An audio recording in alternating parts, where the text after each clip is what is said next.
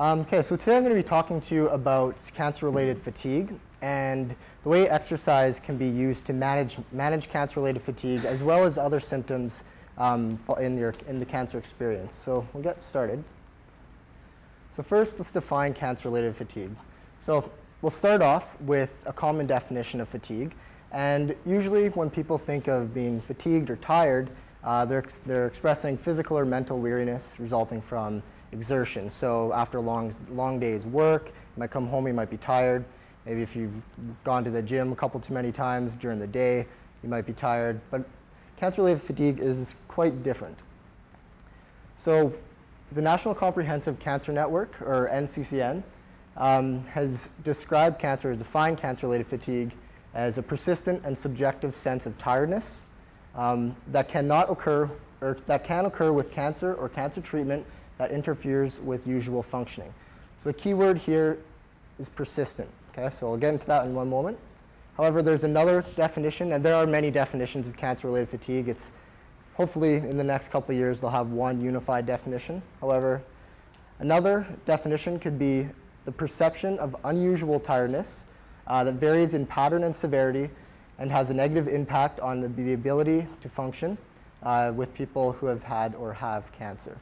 Okay, so here again, something that should be highlighted is it's an unusual tiredness. It's more than what you'd expect from just being tired. Okay? Now, the main thing that unfortunately these, um, these places have not really discussed properly is that cancer-related fatigue is not relieved by rest. Okay, so this separates cancer-related fatigue from just your everyday daily fatigue, as well as fatigue that's seen in other, um, other conditions such as uh, heart failure and even chronic fatigue syndrome. Okay, so how common is this uh, phenomenon? Well, cancer-related fatigue is the most common symptom in patients with cancer and those following treatment and even survivors of cancer. Okay, so it ranges from 22 to 99 percent of, um, of the population, depending on the assessment protocol, as well as the population being assessed. In addition, it is also prevalent in 17 to 30% of survivors, so it does linger past the treatment, the treatment period. All right, so we've defined it. We kind of have an idea of when it, or where, who it happens or how, how much it happens in people. Now let's try to look at some potential causes.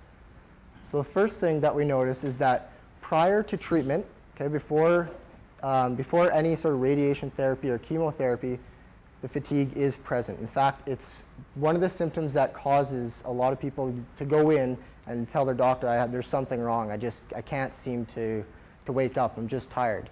So this suggests that there's some sort of cause related directly to the tumor itself. During the treatment, cancer-related fatigue significantly increases. Okay? Radiation therapy has been shown to increase cancer-related fatigue in up to 99% of the population, and at minimum, usually 70% of people undergoing radiation therapy will experience cancer-related fatigue. Furthermore, chemotherapies uh, have been shown to increase cancer-related fatigue in up to 90% of the population. So again, huge, huge increases in uh, the fatigue experienced. So there's a definitely something going on with uh, radiation therapy and chemotherapy that are causing changes to these bodily systems that are regulating uh, this phenomenon. So after your treatments, cancer-related fatigue is unfortunately shown in survivors. And this is troublesome because more and more people are now surviving cancer and the popula or this population is getting larger, so this is becoming more and more of a problem. In fact, 17 to 30% of survivors have experienced cancer-related fatigue. And these numbers have also changed, and it's actually a little bit higher now. Um, in palliative care populations, it's up to 60 to 80 percent. Okay, so before we go any further, we'll just take a quick look into potential um, areas where the fatigue might be um, coming from. So first, central fatigue originates within the brain and the central nervous system. Okay, so the characteristic um, experience from central fatigue is that it extends into cognitive performance, meaning that you're, you're tired, you don't even want to think, you don't want to put pieces together. So that's, that's the main different, or the difference between central fatigue and peripheral fatigue is its extension into cognitive performance. Peripheral fatigue, as the name implies, originates in the peripheral regions, for example, in your muscle or in your glands. And this is characterized by defects in muscle contractility, um, as well as uh, reduction in neuromuscular transmission, meaning that those muscles aren't being activated the way that they once could. Now, little is known regarding the origins of cancer-related fatigue. It is a booming area of, uh, of research considering its increased pre prevalence. Um, but evidence so far is suggesting that it's both central and peripheral in origin, whereas other, um, other fatigue experiences, such as chronic fatigue syndrome, has generally been thought to be from central fatigue. Now, chronic fatigue syndrome is very interesting because uh, researchers up to now have really looked at chronic fatigue syndrome as a template to see what happens um, in the cancer in what happens in cancer-related fatigue. So there generally there has been a lot of research done in looking at the role of central fatigue or um, the fatigue within the mind in, uh, ca in cancer patients. And they, they found some pretty good evidence, but now they're expanding, so things are looking good. All right, so I have this little spider web up here, not to be over dramatic or anything like that, but it's more or less a metaphor, just showing that, as you'll see in a moment, that all these potential factors that contribute to cancer-related fatigue are all tightly woven together. So that's good in a way because if we can treat one, likely all the other, um, all the other factors are going to somehow reduce or else um, won't be as uh, strong as a factor in cancer-related fatigue. So we'll start with I don't know what I did here. Okay, so cancer-related fatigue at the center. So some of the factors or bodily systems that have, have been looked at and associated with cancer-related fatigue is the endocrine system. So anything that regulates hormone function. Okay, so a major hormone that's been looked at is serotonin. So here we just see different areas of the body where our endocrine system plays a role. Okay, so a lot of the serotonin um, effects have been looked at within the brain. Furthermore, the cardiovascular system has been looked at over and over again in regards to cancer patients, and now specifically in patients that are experiencing cancer-related fatigue. And they're showing that cardiovascular endurance, performance, um, capacity are all reduced in those that have cancer, but even a little bit more in those that have cancer-related fatigue. So another system is the autonomic nervous system. So these control processes that you don't even think about, like your heart rate, breathing, um, so these, this nervous system, or this part of the nervous system, is somehow affected in cancer-related fatigue. So the immune system has been uh, looked at in both chronic fatigue syndrome, uh, cardiac failure, as well as cancer. And what they're showing is that the immune system may have a really, really important role in cancer-related fatigue because it seems to be involved in the dysregulation of the endocrine system, the cardiovascular system, as well as the autonomic nervous system. So researchers and doctors are really looking at the immune system and trying to see how the immune system's working uh, in this whole cancer-related fatigue. Finally, skeletal muscle. As we can see, Arnold here is quite a display of skeletal muscle. So the difference, what, what's going on in cancer-related fatigue, in, in, cancer patients, first of all, we know that uh, muscle contractions are, are not as strong as they used to be. Okay? We know that there's atrophy going on within the muscles. But now in chronic uh, cancer-related fatigue, they're showing that muscle metabolism might be compromised, meaning that there's an increase in peripheral fatigue resulting from a reduction in the muscle to provide itself energy in order to contract. So what happens, we'll get into this shortly, but we need to exercise in order to keep, sorry, in order to keep this the muscle metabolism working properly. And what happens if we don't exercise? Well, Arnold knows best, and that's what happens. So, not exactly as he used to be. Okay, so the serotonin, as I was talking about earlier, is a hormone okay, that regulates or that can cause increase in sleepiness. Um, it also, importantly, causes a production or a sensation of reduced physical capacity. Okay, so say if we had, we'll use an exercise example. Say if you put somebody on a treadmill and you work them for a long period of time, research suggests that serotonin might be one of the factors causing the, the, the brain and the central nervous system to experience fatigue. Okay, so what we see in this diagram here, a concentration and then a timeline. Okay, so in the black dots, we see men with chronic fatigue syndrome. With the white dots, we see healthy controls. Okay, so they took blood samples from zero, or time point zero, one hours, two hours, three hours, four hours, and at two hours, they introduced some sort of stress. It's not really too important, but it, it was exer an exercise stress. And they showed that in the men with chronic fatigue syndrome, serotonin just skyrockets compared to the controls. So this suggests that in chronic fatigue syndrome, sort of the, the template that they've used or they've based a lot of the research off in cancer-related fatigue, has some sort of role in uh, causing a fatigue within the brain. Okay, so the immune system, as I said earlier, plays a huge role in uh, cancer-related fatigue. This is a very, very good uh, paper by Alex Alexander et al. in 2009. And what they showed, they, first of all, they took cancer patients with cancer-related fatigue, then they took cancer patients without cancer-related fatigue. Now, this is the only study that has actually done this, so this really gets you to look at differences between these populations apart from the cancer and trying to see what the fatigue is actually all about. And what they show is that in participants, um, in participants with cancer-related fatigue, there's a significantly increased level of white blood cells. Okay, so you'd, accept, you'd expect an increase in white blood cells in cancer patients. Okay, but in the chronic or the cancer-related fatigue group, it's significantly increased. Again, the neutrophils, another uh, immune cell, is significantly higher in the patients with cancer-related fatigue versus those without cancer-related fatigue. And inflammation, as uh, indicated by C-reactive protein, which is just a marker that they use to describe inflammation, is also significantly higher in uh, populations with, or cancer patients with cancer-related fatigue compared to those that do not have cancer-related fatigue. So this is very important because it really shows the, the importance of the immune system in cancer-related fatigue. Okay, so this is the, the area that um, we'll be looking a little bit more into today uh, relating to physical capacity, aerobic fitness, and uh, muscular endurance and stuff like that, because those are the kind of things that we can see almost immediate effects with exercise.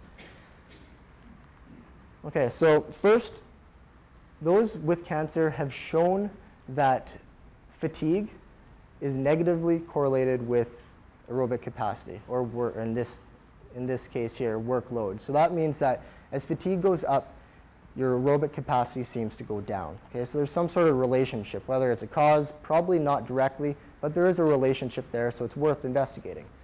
Also, muscle force um, and muscle, um, so upper, upper body force, this was measured through a bench press, and then lower body force was measured through a leg press. So we could see that maximal workload as well as the individual areas of muscles are compromised uh, in patients with cancer-related fatigue, or they're related to cancer-related fatigue. So again, um, this time looking at VO2 max, which is the amount of oxygen your body could use. It's a great indicator of how, how fit your aerobic system is. Okay, we can see that, again, there's a negative correlation here, suggesting that as, your, your as cancer-related fatigue goes up, there is a reduction in your aerobic performance. What's really interesting here, though, is that other symptoms such as depression, um, anxiety, anger, hostility, those are all positively correlated with cancer-related fatigue and quite strongly related actually. And this means that as your fatigue goes up, these other symptoms are also going to go up, okay? So this is what um, has been referred to as a symptom cluster. And this is important because if you can treat one of those symptoms within that cluster, the other one should, should theoretically go down.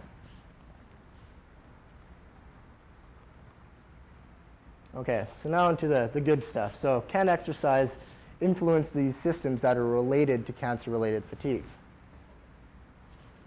All right, so here we have Lance Armstrong. I'm sure everybody has heard, heard from him, but he trains a lot, okay? He trains tons. So he's obviously got other systems that are very, very strong, but one of the systems might be that serotonin regulation. And one of the studies that's quite interesting is they looked at animals um, and they trained them, okay? So these are just resting levels in the black of serotonin within different brain regions. Now remember serotonin, a high level of serotonin can cause sleepiness, as well as that perceived or that perception that you just you don't have the gusto to get up and do something or perform physical activity. Okay, so what we see is that in these light gray bars, which were the trained animals, at rest they're much lower. So the level of serotonin within these brain, brain regions are much lower in the trained animals, suggesting that training does have uh, some sort of effect in reducing serotonin in the brain, theoretically reducing fatigue caused by this factor. What's really interesting is that if you stimulate the system to try, or you, you try to get the system to fatigue, you could actually keep that reduction down, or keep that, uh, that serotonin level down after you've exer- exercised or during exercise, which suggests that during, dur- throughout the day, if you're moving around, exercising, this increase in serotonin might not be as, uh, might, might not be as dramatic as if you were to not exercise. Okay, so again, talking about the immune system here. So exercise has uh, shown, been shown time and time again to influence the immune system. Okay, in this study here, they looked at the effects of exercise training in uh, immune cell activation as well as inflammation. Now, active immune cells are going to stimulate inflammation in certain areas, um, basically as a signaling mechanism to get more inflammatory cells in there to help heal that tissue. The problem is sometimes is that it's overactive, and these, this overactivity can cause a lot of detrimental effects to other systems, such as the skeletal muscle. So in this one here, we have the percent of activated immune cells here. And then this is uh, pre-treatment or pre-exercise and post-exercise. And then in the black bars, we have a physically inactive group. And then in the white bars, they have a physically active group. Okay, so right off the bat, they're just comparing physically inactive versus physically active. What you can see is that the amount of immune cells or the, the amount of active immune cells is much higher in those that do not participate in uh, regular physical activity. Now, after you exercise both of these groups in the post here, you can see that the physically inactive group definitely has a much lower level of uh, chronically activated immune cells. Now, you might be thinking, well, your immune cells are important, and absolutely they are. But there's another, um, another figure that I didn't put on here uh, just for time, uh, for considering time. But what it shows is that when you stimulate, stimulate these immune cells, they respond even stronger after exercise. So the level of chronic infl or inflammation might go down, but you could still get the proper activation of these immune cells when they're needed.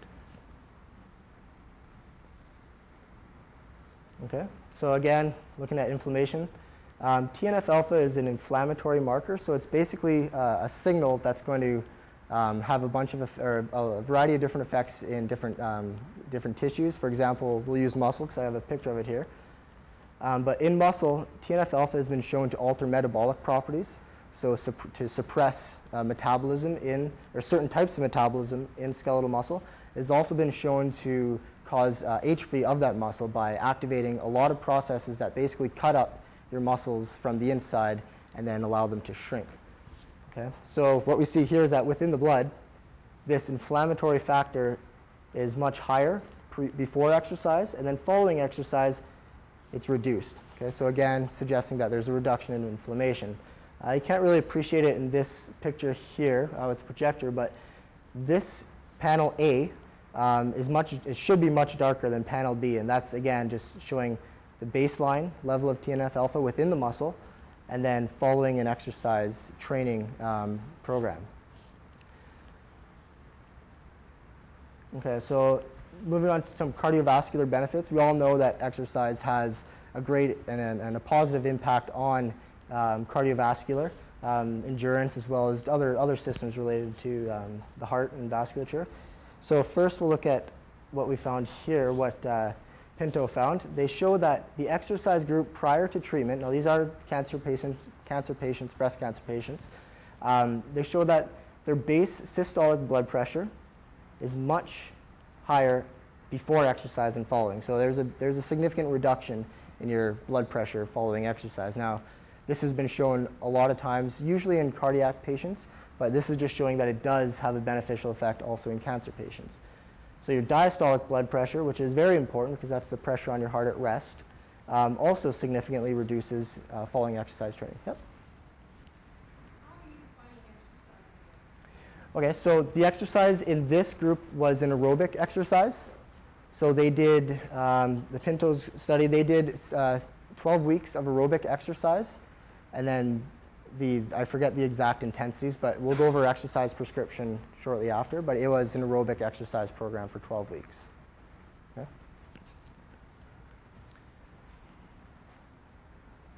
Okay, so again, now this was at baseline. So this is as soon as they came into the, uh, to the gym or to the clinic, this is what they took. Now putting somebody uh, on a bike or giving them some sort of exercise stress is important because that shows whether or not if once they leave the clinic and they're not sitting down, if they have to go carry groceries or walk to the, the, the corner store, they're exercising and they want to make sure that your cardiovascular system is strong while you're performing these activities of daily living. So what they did was they took a group and they added some resistance uh, to a bicycle and then they made them exercise and what they show is that systolic blood pressure as well as diastolic blood pressure is much lower even after exercise or even during exercise, sorry. As well as the heart rate significantly reduced also, meaning that there's less stress on the heart and the cardiovascular system following an aerobic exercise program in cancer patients. Okay, so again, looking at some aerobic exercise. Now this is a great study because they don't not only show the effects of an, an aerobic exercise training program, um, and sorry, they don't only just show the effects right away or after the training program, but they also show some detraining effects. So it really solidifies the importance of exercise and maintaining uh, proper cardiovascular function. So VO2 max, or VO2 peak here, I'm sorry if I didn't define it, but is the maximum capacity that your body is able to transport and utilize oxygen. So you need oxygen for your muscles to make, to convert everything into energy. Without the oxygen, your, your muscles don't work as well and they fatigue much faster. So the increase in VO2 usually means a stronger cardiovascular system. Okay? Uh, PPO is peak power output, so the amount of watts that the individual is able to push out in their exercise. So what we see here is prior to training, um, there, these are prior to training marks as well as post-training marks were significantly higher. So your VO2 increased by 3 or 2.3 points, which is pretty good. Um, again, the, the peak power output was significantly higher as well, so you're able to exert more force. Okay, so this is important. Now what happens if you don't train or you don't maintain this training? you lose a lot of these effects. Okay, so you're going to lose your VO2 max, or your your original or post-exercise VO2 max. You're going to lose that ability to push as much as you used to be able to. Okay, so once you engage in a physical activity, you really got to keep it up, or else you you will lose it.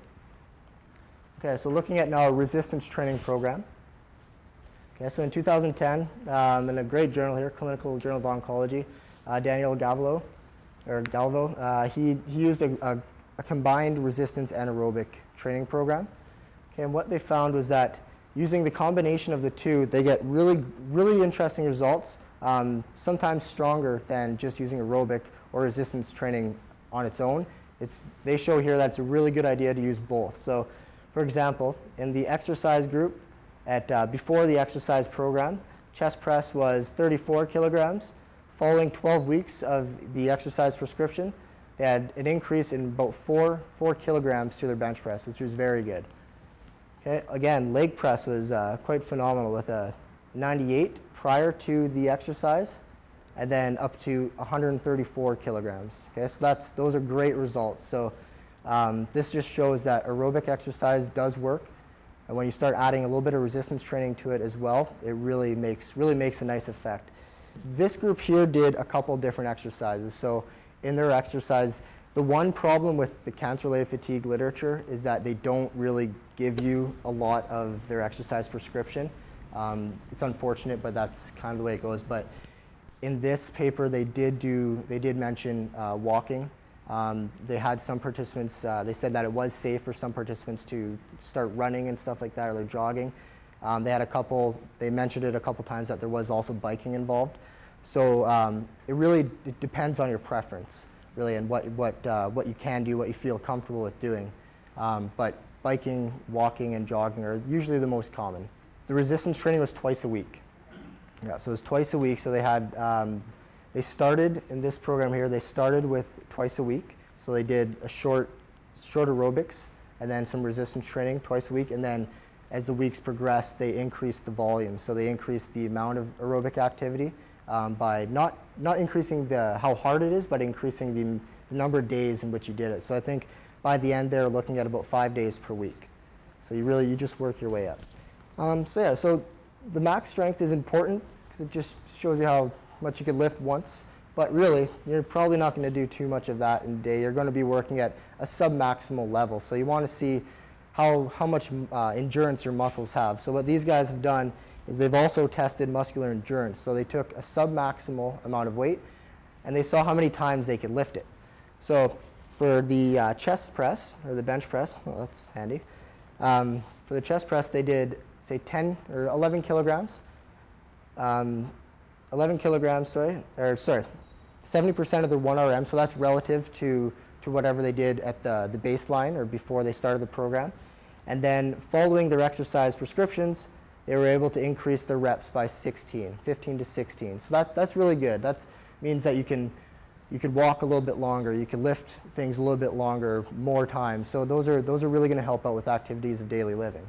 Okay. Also, leg press was also increased. Again, we saw a dramatic increase here with the leg press and the maximum um, lifts, but you also see a huge increase in the amount of times you could lift a submaximal weight. Okay, so again, increased walk distance, increased getting up, standing up, all those kind of things.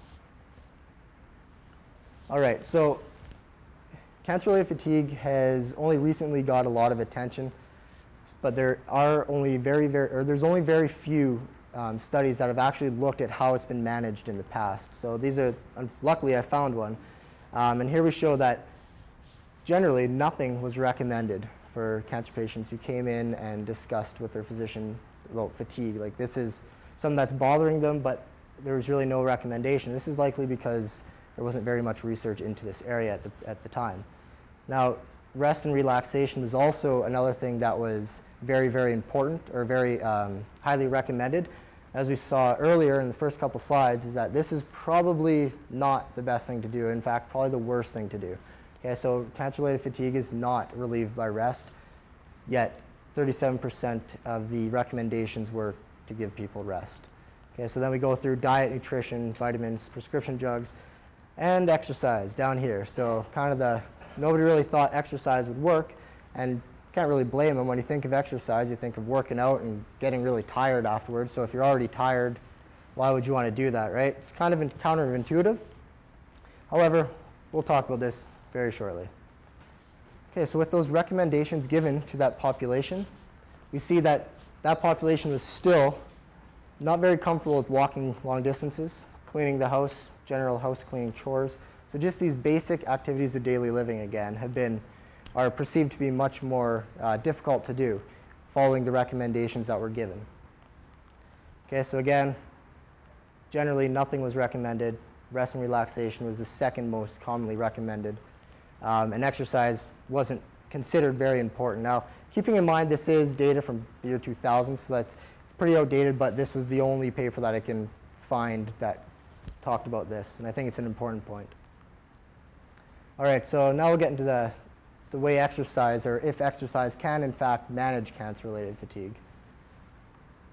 So can exercise offer acute relief from cancer-related fatigue, so on a day-by-day -day basis? Um, does exercise improve fatigue for not only, say, a breast cancer patient, but also for prostate cancer patients? Okay? Um, now, again, there's a lot of um, there's a, a bunch, there's a lot of research suggesting that it does work in a multitude of different populations. Okay? What I've chosen to show here was just because they're out of uh, really strong journals and they're also included in my, some of my thesis work. So if uh, I've left any um, cancer site out, just let me know and um, I, can, I can talk to you about that also. Okay? Um, and then we're going to follow up with looking at what are the best exercise prescriptions. So getting again at the point of what types of exercises work best, when we should be prescribing them, okay, and any, um, any confounding factors or contraindications that might limit people from doing exercise. All right, so in this study here, the authors were looking at daily fatigue okay, in women with breast cancer receiving chemotherapy. Right, as I mentioned before, chemotherapy or patients undergoing chemotherapy have huge increases in fatigue.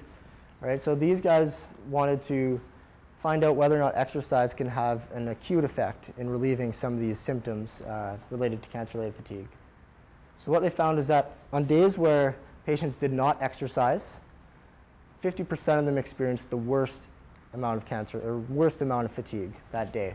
Okay? Whereas on the days where they did exercise, only 46% experienced can, fatigue during that day. So this suggests that exercise can relieve fatigue immediately. Right? Also, fatigue now, just at the time when they walked in, and then the average fatigue throughout the day. Okay, so again, the exercise group did show a, a, quite a large reduction in the amount of fatigue experienced in that day. So I found this little study here was quite interesting because they didn't do a lot of statistics. They just looked at the perceptions and looked at what people said, um, which is very, very important, okay? Because these are, these are real people here, not, not just uh, interpretations of numbers. So this one participant, 40-year-old woman with breast cancer, following an exercise program said, I thought that at first, um, all I did, uh, all, I just feel awful afterwards, you know, because I'd be exhausted. But I did perhaps the first couple of times. Now I'm feeling that it does make me feel more rejuvenated and a bit more energy, or a bit more ener energy. So she's generally feeling that after the exercise, she does feel a little bit more rejuvenated. Okay, so that's a key word in there. And she does have more energy. And again, we can see that it's very similar in this participant and this participant, uh, where they show that um, they feel quite poorly before the exercise, but then afterwards, after they've done a little bit of exercise, it perks them up, uh, gives them a little bit more energy. Okay, so it, here again, bucks yourself up. So suggesting that following an exercise, participating in exercise really does help alleviate some of that fatigue that you might have been experiencing before. Okay, so that answers the first question. So yeah, exercise can offer some acute relief from fatigue. Um, now, does exercise improve fatigue in a variety of different patients and following different treatments? So unfortunately, again, I don't have uh, a comprehensive list here. I just have a couple examples, but again, i am definitely willing to talk to you about them afterwards if you'd like. So in breast cancer patients receiving adjuvant therapies, um, a lot of data suggests that up to 30%, uh, you can see up to 30% improvements in aerobic performance. Um, now, these are a variety of different studies. Now, so it's not specifically any one type of exercise that they're using, but in general, you could get up to a 30% improvement in aerobic performance, as well as up to a 15% increase in muscle strength and endurance. All right? So what about cancer-related fatigue? Again, the same general population, breast cancer patients receiving adjuvant therapies. Um, Anna Campbell and her group found that exercise, let's look at this one down here, the exercise group was able to increase their FACT-G scores, which is a cancer-related fatigue or, um, assessment form, by 11 or almost 12 points, which is very important. Like that, that's a very large increase. Okay. Um, now they show an increase here. They do show an increase here um, in the FACT-B um, assessment, which is just another assessment form that is commonly used. It didn't reach statistical significance, but it did increase quite substantially. So I mean, use your discretion there. Okay, so this shows that um, small group, that's why they call it a pilot study, that supervised exercise uh, was very effective in reducing uh, cancer-related fatigue in this population. Okay, so what about in breast cancer patients following adjuvant therapies?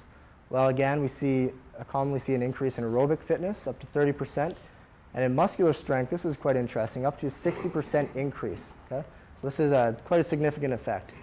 But what about cancer-related fatigue? Okay, so same population after treatment. Um, Carol Schneider looked at a variety of different types of fatigue or cause or origins of fatigue, so behavioral fatigue, affective, sensory, cognitive, as well as total fatigue. We'll just focus on total fatigue. Um, and they show that during treatment in um, in good, or, uh, as shown previously, there is a positive influence. So in this, sorry, in this, they use the, uh, a different cancer fatigue assessment form, which makes things a little bit confusing because a reduction in the numbers on this form indicate a reduction of fatigue. Okay, so that's why it's a little the opposite direction in this one here. But they did show a reduction, a significant reduction uh, during treatment, but also following treatment, they saw even uh, a greater effect. So slightly greater reduction in cancer-related fatigue. Okay, so prostate cancer is another, another one that's commonly mentioned in the literature. And again, we'll, let's take a look at those undergoing adjuvant therapies. So we see that um, aerobic fitness can go up to, up to 20%. Uh, muscular strength and endurance has also been shown to go up to 40%. Now in this population, there's um, a lot of the literature looks at resistance training, and I think that's probably why we see a little bit more of an increase compared to some other, other populations. So uh, with cancer-related fatigue, however, we do see um, that on, on, two scales, so the fatigue scale as well as the FACT-P scale, um, a reduction in cancer-related fatigue. So pre-test score of 40, or say 41 for the intervention group, and a little bit higher for the control group. Following the test, we see a significant reduction, or uh, sorry, a reduction in the uh, control group, and then a significant reduction in the intervention group. Okay, so just suggesting again that on this scale, it does cause a reduction, or this exercise program that they used here, a resistance training program, causes significant reduction in their fatigue. Now on the FACT-P scale, which is slightly different, um, they also show the same results. So this is very important using a couple different assessments because it's one of the, one of the limitations in the, the literature that everybody's reading is that certain forms are slightly different um, and they give different results. So it's good to, that these guys showed um, different, different scores from different, um, different scales. So in this one here, they see that the intervention group started at, say, 118, and then following exercise, or resistance exercise, it increased two points, and that was indeed significant. Okay? The majority of the research that I've looked at, um, well, I can't really say the majority, but there's a lot um, in Europe, in uh, Germany. There's a ton in Germany. There's uh, about three scientists in Germany that do a lot of work in this area. Um, there's actually a few in uh, Alberta that are probably in the top, top level of uh, researchers for this area. And then there's a couple down in the, in the States. So it's, it's kind of all over the place. Um, but in Europe, most of the, the research that I've looked at has come out of Germany. And then uh, a little bit from a little bit from Ottawa and a lot from Alberta, and then a couple labs in the state. All right, so this study just basically shows that resistance training does have a beneficial effect on fatigue in populations with prostate cancer um, undergoing androgen deprivation therapies. Okay, so as far as um, specific exercise or specific cancer types, that's all I'm going to present. Um, definitely be willing again to ask or answer questions regarding other cancer types. Um, but this group here, um, I believe they're from Germany. Um, let's see, yeah. So they, they, did, uh, they did a lot of research on uh, heterogeneous groups of cancer patients. So cancer patients with solid tumors, Hodgkin's disease, a variety of different tumor, sort, tumor sites. All right, so this is something that you'd probably see in a, in a cancer, cancer care program or in a, an exercise program. So they're gonna, they wanted to see whether or not overall exercise could affect or have a beneficial effect on fatigue in a, a diverse group of cancer patients. Also, a lot of them were undergoing um, different types of treatments. So I'd say Quite a few of them were done treatments. However, a lot of them still were currently taking treatments. All right, so what they show here is that physical fatigue is uh, indicated here. So pre-exercise was signif significantly reduced following the exercise intervention. Okay, psychological fatigue or mental fatigue was again significantly reduced following the intervention. And then uh, cognitive fatigue wasn't quite significantly reduced, but it was it was reduced compared to um, before they, they started an exercise program. Okay, so this data has not been published yet, and uh, some really exciting data that uh, Dr. Newhouse has been working on. Um, and so I'm really happy that I could present a little bit of it here today. So they used a home-based exercise program in a heterogeneous group of cancer patients. And they showed that there was a significant increase in the six minute walk test, so uh, an indicator of aerobic function. Okay, so that's a great result.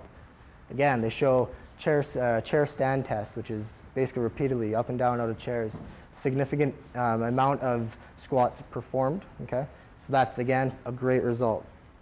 So these, these two here, go back, these two here are a really good test to use to infer some sort of uh, training effect on things you do in your, your daily life. So just getting up and out of your car, in and out of the house, walking around at work or wherever you may be.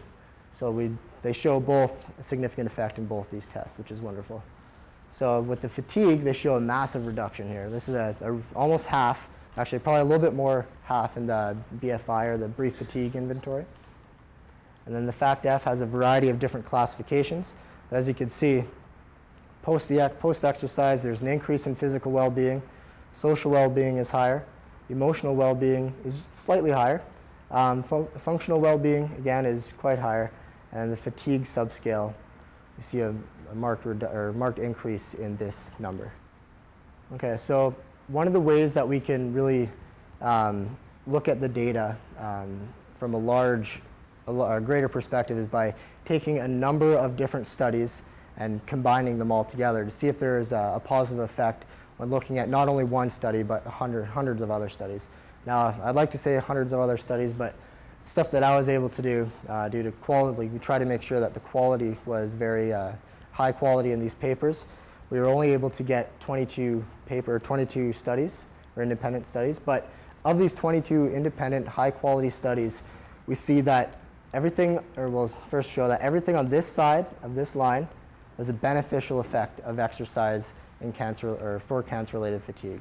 Okay, so it doesn't matter if it was significant statistically, it's just was it better or was it worse? And we see that every single study that was shown here had a good outcome. Okay, so some were greater than others. Um, reasons for that, I'm not too sure, but but the take-home message is that every single study showed a beneficial effect of exercise on cancer-related fatigue.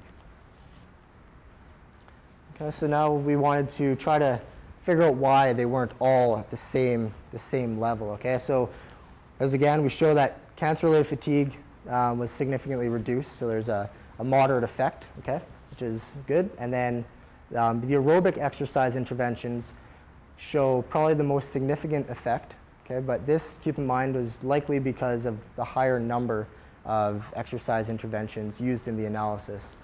Um, that being said, there were beneficial effects of resistance uh, exercise programs and aerobic resistance training. Okay, so all three of these exercise, um, this type of exercise prescription showed beneficial effects. During treatment, we see um, a moderate effect, significant moderate effect, and then following treatment, we see a little bit of a stronger effect. So with this, as well as looking at some of the literature that was included in this analysis, it really basically shows that during treatments, cancer-related fatigue can be significantly reduced. However, if it doesn't become significantly reduced, it doesn't get worse. Okay? And then that sets you up for following the treatment, you're at a better, better state. You can start exercising and your, your treatments or your exercise prescription should work very nicely. Now, because of the, the high number of breast cancer studies out there, um, we are only able to group breast cancer together and then group all the other cancers to, uh, other, all the other cancer types together. So we see that in both breast cancer and all the other ones, um, there were significant reductions in cancer-related fatigue, okay, and quite a large reduction in breast cancer. Now, supervised, looking at more of an exercise prescription, where should you exercise? The super, uh, supervised exercise showed the greatest effect, okay, but that being said, the unsupervised or home-based exercise did show a positive effect. There was just less of them. And I'm sure that if there's more studies done on this, then this would have reached uh, statistical significance. Now looking at aerobic and musculoskeletal function, we see that there's a huge increase or a massive, uh, sorry, I'll just say a very strong increase in aerobic performance and also again a very strong increase in musculoskeletal performance. Okay, so to answer that question originally that we stated, does exercise improve fatigue for patients and survivors with different cancers and treatment types?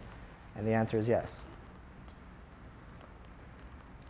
All right, so now let's get into a little bit more of a, the technical stuff, I guess, with the, the exercise prescriptions, and we'll, we'll see what, what exercises are being used and, and uh, how we should properly prescribe the exercises. So the first thing we need to consider when trying to make a, an exercise program um, to make sure that it, it, it maximizes its effects.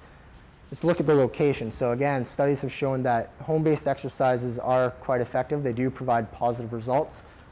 And as well, uh, exercises in uh, fitness facilities or in a supervised setting provide positive results, maybe slightly, slightly greater than the home-based exercises. So this is just confirmed by a study done, uh, another meta-analysis done here where they show that the home-based exercises, these ones here, were again on this side of the line, showing that it was a beneficial effect, and here's the average effect.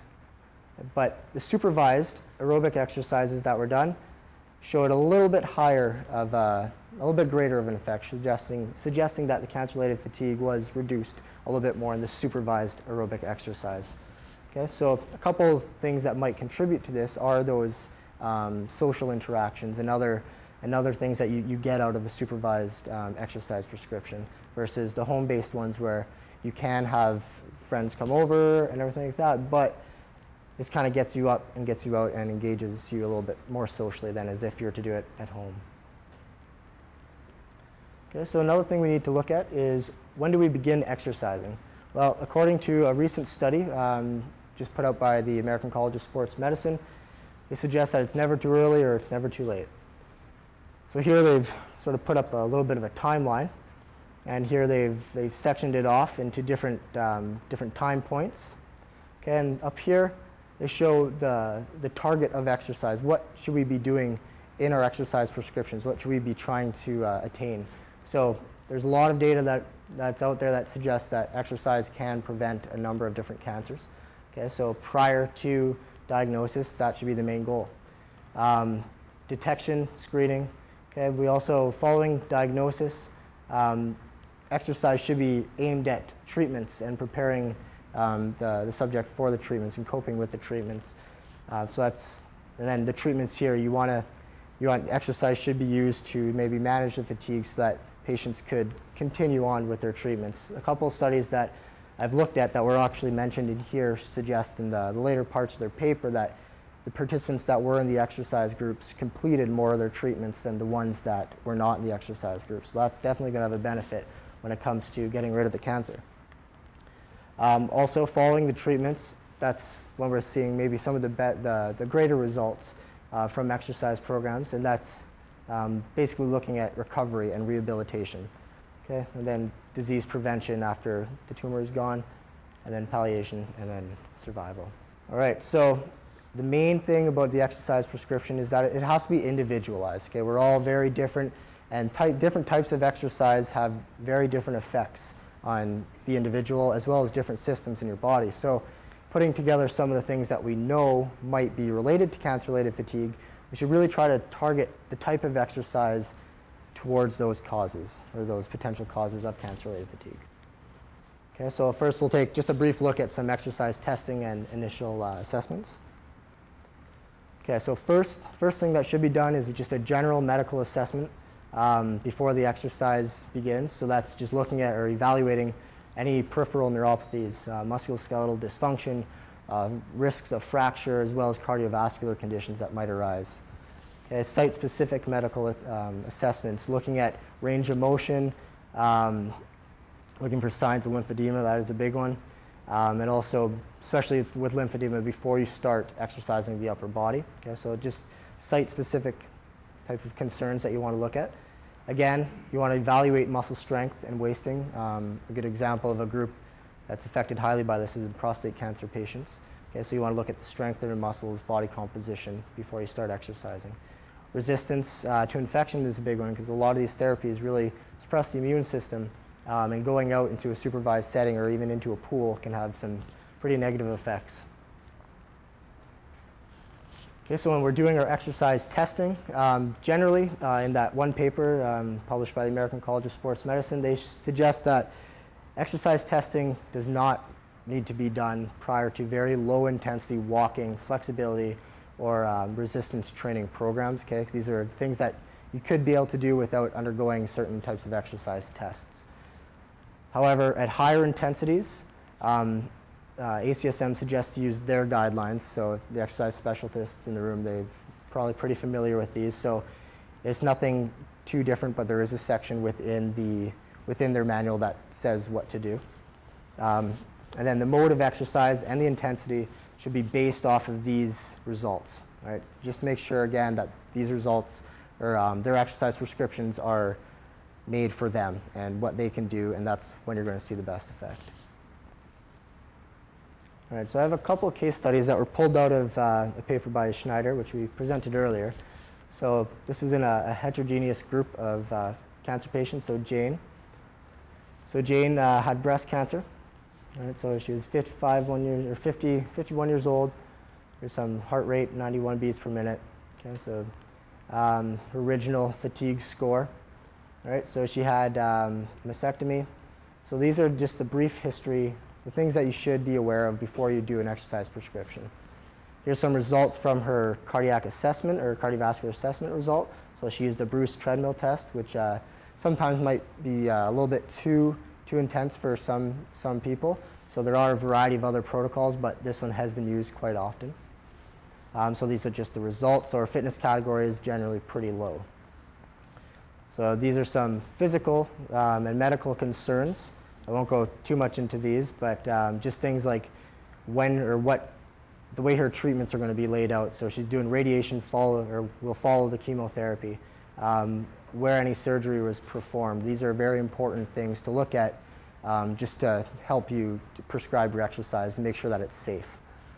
Okay, so this is just a general outline of what her prescription would look like.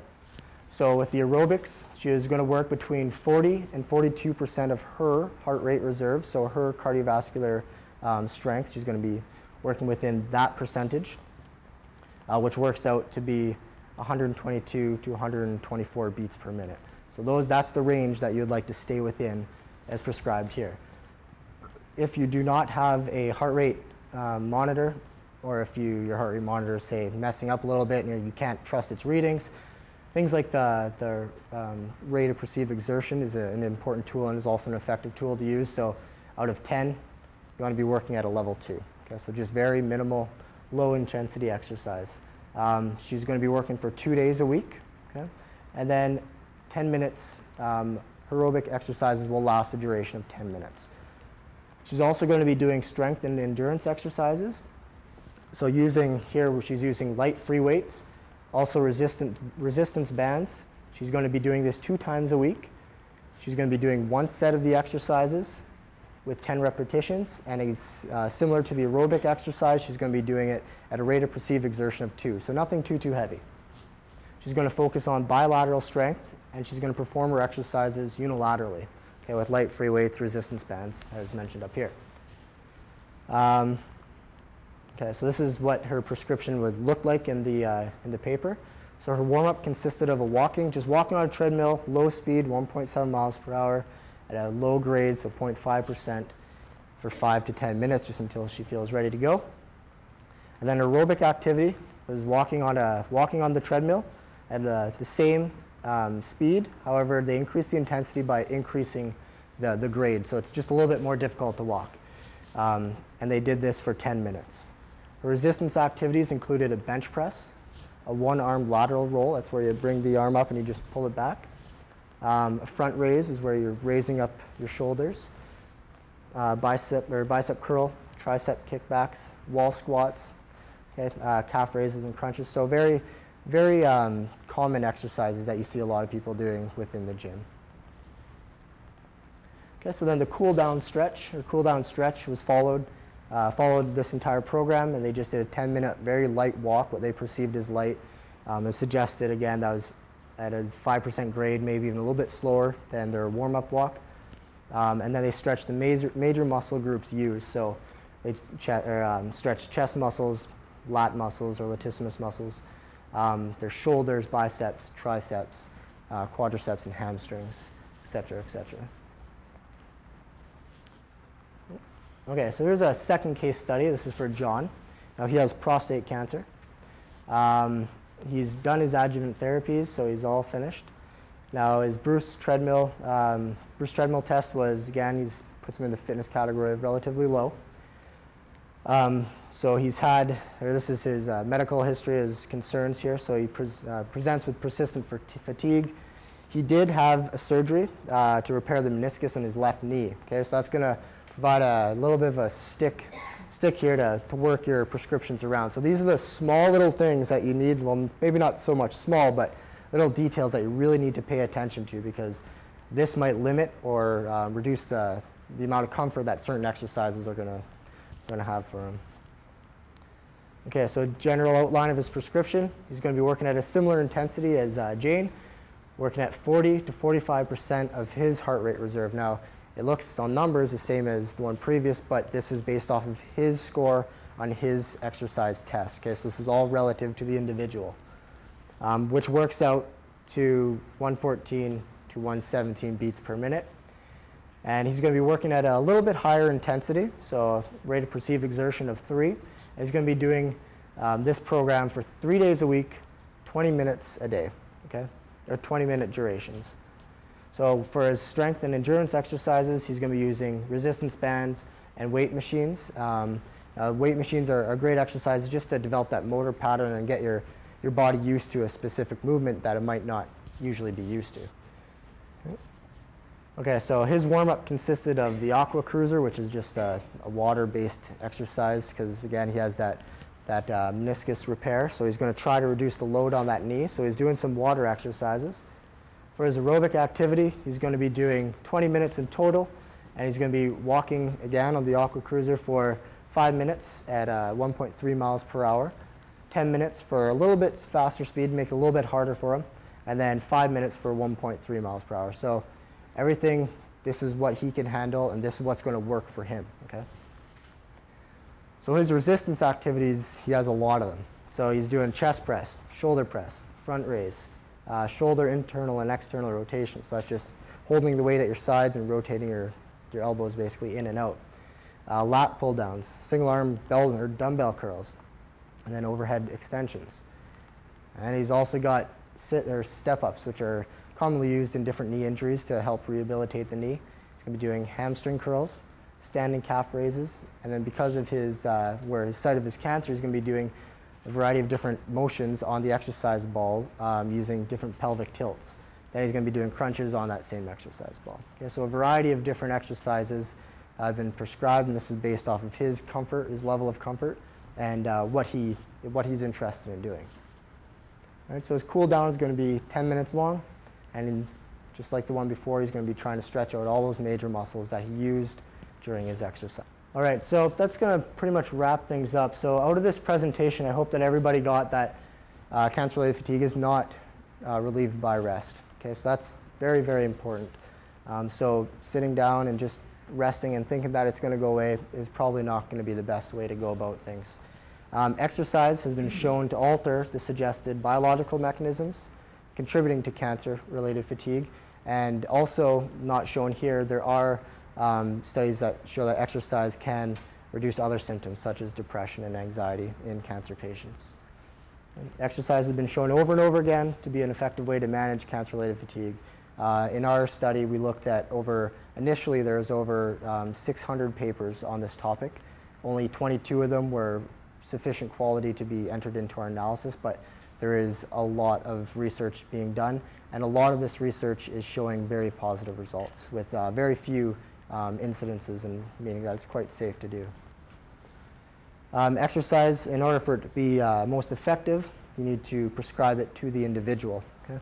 Um, so in order to do this, you must first consult your physician to look at any limitations and any uh, existing health concerns um, and well, as well as looking at uh, looking to an exercise specialist to help you prescribe exercises that are going to be beneficial to you um, at an intensity that you're comfortable with, but at, at, the same time we're still going to allow to produce those adaptations and uh, beneficial results.